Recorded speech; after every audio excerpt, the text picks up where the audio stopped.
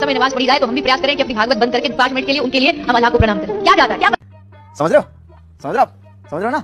वो वाले राम है। बट यहाँ इस मंत्र में वो राम नहीं। राम का मतलब होता है जो हर जगह रमण करने वाला मतलब जो हर जगह मौजूद है। सामने भी हवा में वायु में सब जगह जो रमण अरे रुको जरा। सबर करो। कथाकार व्यासपीठ से बैठ करके कोई अल्लाह का कीर्तन करा रहा है, कोई अल्लाह को प्रणाम करने की बात कर रहा है, इस प्रकार से क्षुद्र लोकेशना के लिए, सस्ती लोकेशना को प्राप्त करने के लिए कभी कोई अल्लाह अकबर करने लग जाए, कोई अल्लाह को प्रणाम करने लग जाए, नमाज़ की हिमाकत करने लग जाए, नमाज़ की पैरवी करने लग जाए, अजान होने लग जाए तो कथा बंद कर दी जाए, ऐसी बातें कहकर के समाज को दिग्भ्रमित करना ये वक्ताओं का दायित्व नहीं है।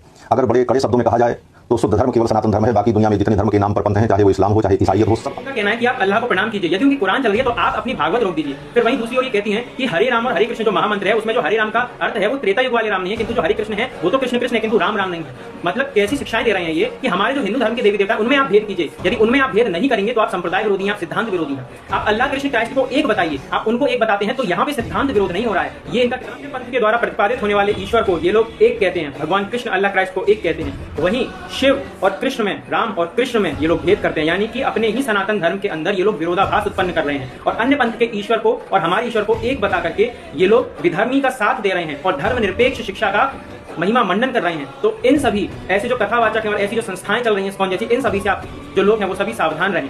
बाइबल से द्वारा प्रतिपादित होने वाले ईश्वर को, कुरान के द्वारा प्रतिपादित होने वाले ईश्वर को, और सनातन धर्म के द्वारा प्रतिपादित होने वाले ईश्वर को एक बता रहे हैं तो आप निर्लज हैं, आप मूर्ख हैं और आप बिक चुके हैं। जय श्री